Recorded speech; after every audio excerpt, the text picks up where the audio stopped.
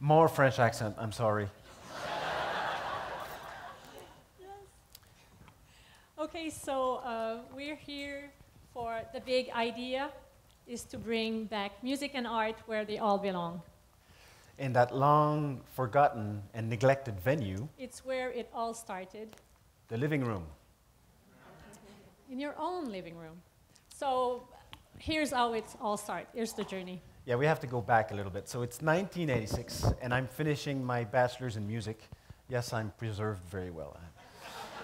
um, yeah, so uh, in anyways, uh, I had already been conducting for three years and done big bands. I love big band music, and uh, I've played, I had played in big bands for like seven years at that point.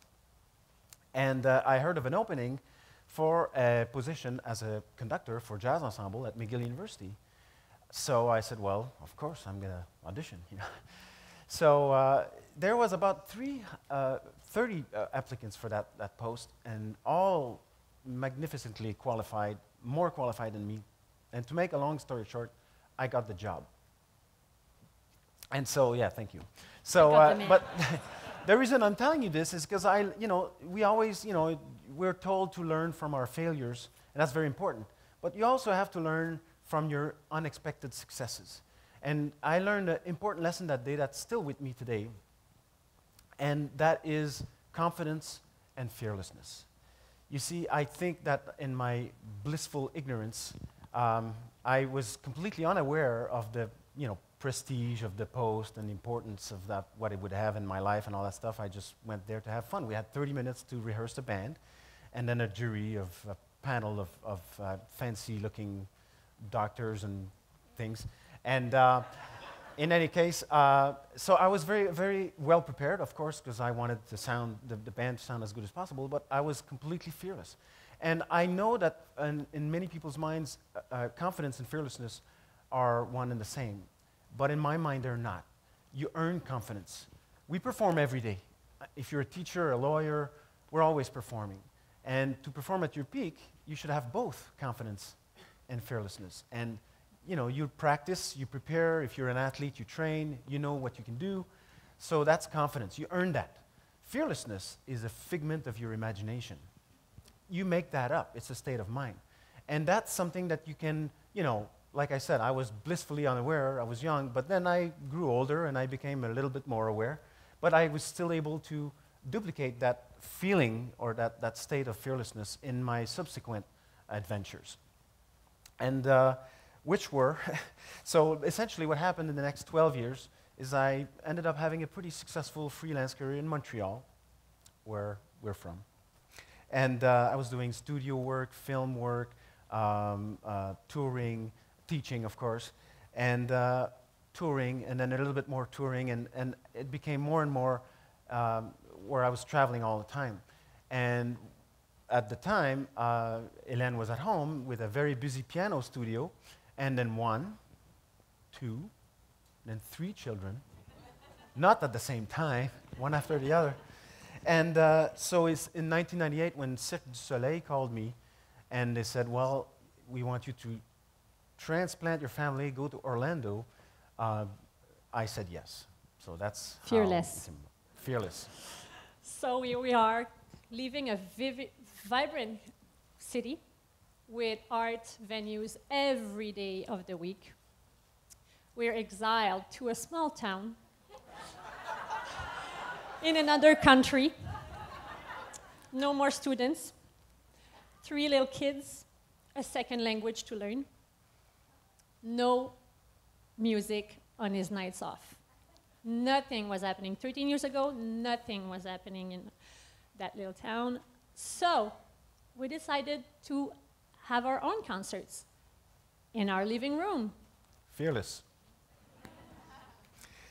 Our first concerts, um, our first concerts, oh my. we um, made our own posters. Benoit wrote the music. We uh, pulled sleeve for musicians to come and play. We made phone calls to friends, the little friends that we made, um, to ask them to come and listen to the concert. And I provided the wine and cheese. Um, we bought a few wine glasses. Um, we had a magnetic sign made for the car so that we could leave the car at the entrance, neighborhood entrance, so that the neighbor would know about it. And I took the seven, six, and three year old with me around the lake, knocking at doors, passing flyers. Um, we, we did um, everything we could to have people at our concerts. So um, after a year or so, we ended up hosting our concerts every month. We added um, visual arts to our events. So we had paintings or sculpting, um, a little more wine glasses to buy. Uh, then we added the folding chairs so that we can store them away. Um, and then we started tearing walls down. So a little wall, and then a whole wall. And uh, so we changed the acoustic of the whole room. We wanted, um, it, it, just turned great. And then the people were coming um, with a better experience. And one night, we had the Brazilian night. It's a lovely community, and the crowd overflowed to the patio, to the backyard. And the next day, there was a wine glass all the way around the lake. Yeah. So I think that was our clue to start designing and building our new home. Which we did. And um, so uh, the new house, we went from a, a, living room of what, 12 by 18 to a living room of 21 by 45. That's three stories high. So we got balconies. And uh, with the acoustics, we got lucky. The acoustics are amazing in the room. Uh, we have a stage, lights, a recording studio, four HD cameras, some top notch microphones, piano, drums, bass, guitar, uh, all kinds of instruments, essentially trying to make it very easy for musicians from near and far to come and play at the house so they don't have to bring gear, essentially. We have double bass, everything. And uh, the place is built like a bunker with walls, concrete walls, this thick, inside and out, with and uh, um, uh, hurricane laminate windows, all of that to soundproof the house and because you know it's important we don't want to aggravate the neighbors and we don't want the neighbors to aggravate us and so the place is very very well soundproofed. They're soundproof always invited. yeah of course of course So it's a very green house. It's um, a house that is double the size that, of the house that we had before, but the utility bills are lower. So it's very efficient. Um, and the concerts now um, well we have um, people bring their own beverages and food so it's a very communal thing we're roasting about 100 and 150 people every night. So I, I couldn't provide wine and cheese for everybody. but the dishes we discovered through that, yeah that's very cool um, we host concerts now two to three times a month. We've had over 300 world premieres, so which makes uh, because we've always emphasized living composers and new music, which makes our house, our living room, one of the busiest venues in the southeast for new music. So it's very Yes, yes. We added live visual arts. So, another fearlessness moment when we have uh, artists that are more than willing. One artist just presented himself and asked if he could paint live. Yes, so now it's a tradition. Everybody So- paints live. 80% we have. We don't call musicians anymore. We people call us, and uh, we are booked like six months ahead of time. I do not make phone calls. We have now an email list 750 names strong. We have had musicians from Britain, Japan, Israel, US, all over the US, uh, Germany, Canada, France, Brazil, India, Bolivia, Russia, Poland, Sweden, Colombia, Holland, and New Zealand. We've had Grammy winners, gramophone winners, Pulitzer winners, and even a Nobel nominated poet. And this did not happen on its own. It happens with great collaborators, and some of them are the Civic Minded Five, the Orlando Brass Festival, the Jack Kerouac Project, um, the um, Atlantic Center Atlantic for the Arts. Center for the Arts, and the Accidental Music Festival also. All the university of the area. And uh, for the past decade, the kids have opened the concert, most concerts, and they still do. Uh, whatever style of music that's being played that night, we try to do something in that style. And so they've learned many styles of music and many instruments, and they have their own fan club now. Yes, they do.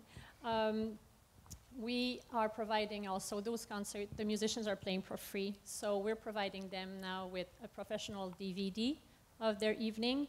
And uh, it's not, the musicians are performing for free, but the concerts are free. So it's free. We just host a concert. You just come and listen.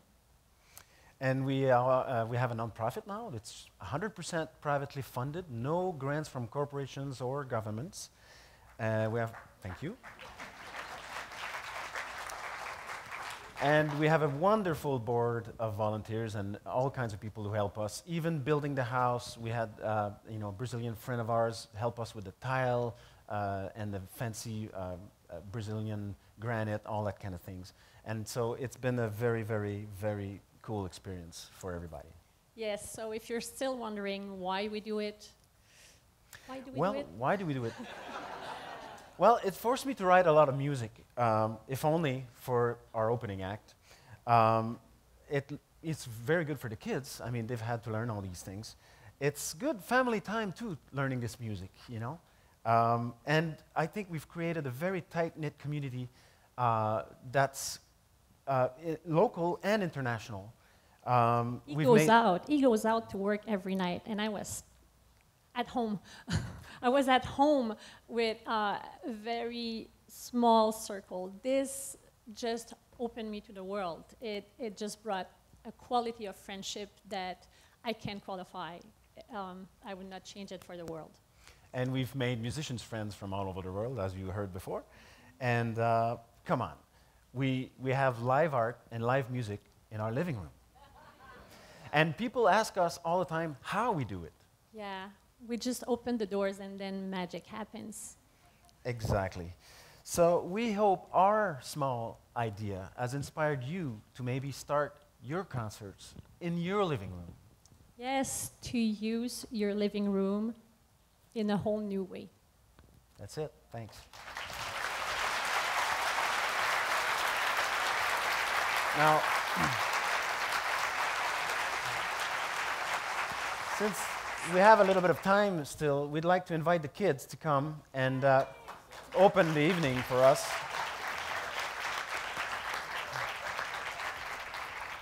We have Charles. Charles uh, is 17, Camille is 16, and uh, uh, Jean Marie is 13.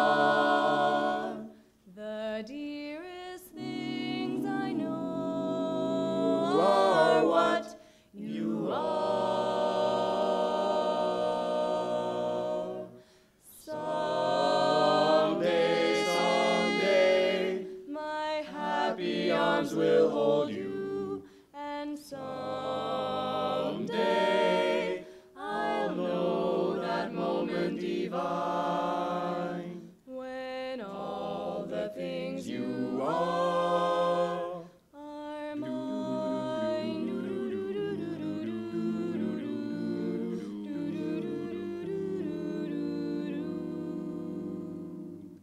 Oh, someday, someday, someday.